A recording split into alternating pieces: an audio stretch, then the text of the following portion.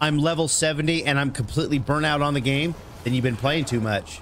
These games aren't meant to be played every day, all day long. Like there's there's a whole world out there where you don't have to play the game all day long, every day because you can't control yourself. So if you're already burnt out on the game, take a break. Take a take a week off. Come back. The game's not going anywhere. You'll be all right.